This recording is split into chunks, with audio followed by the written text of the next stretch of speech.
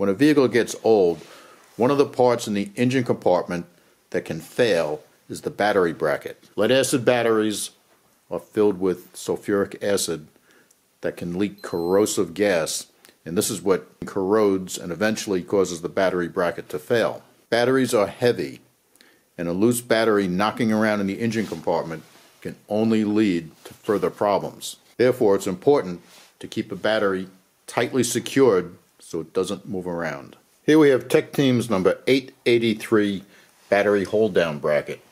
And this is pretty much how it's going to look when you take it out of the package. This is not the way it goes together when it fits on your battery. First thing you need to do is to disconnect the J-bolts from the bracket.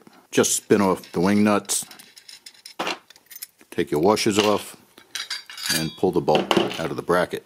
The bracket is adjustable, and that can range from uh, 6 and 5 eighths inches up to 9 and a quarter inches. Corner of the battery fits right into this part of the bracket, not here.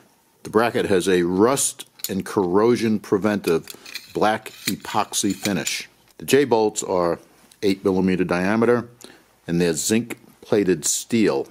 Each one is 11 inches long and it has 3 and 3 quarter inches of M8 by 1.25 thread.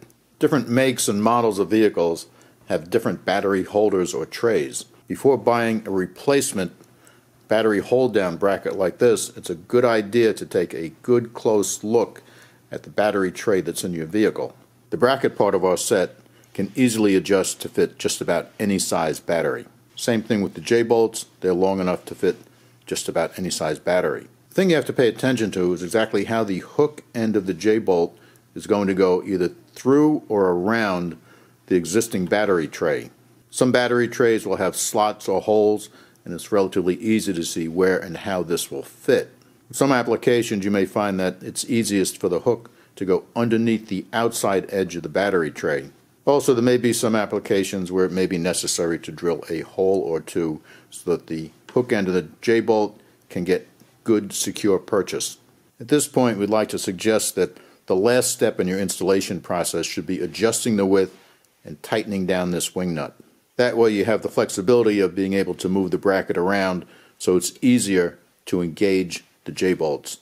Once you have your J-bolt hooked under your battery tray, you put the bracket over it, then you put on your flat washer, then your lock washer, then you thread on the wing nut and tighten it down and you're good to go.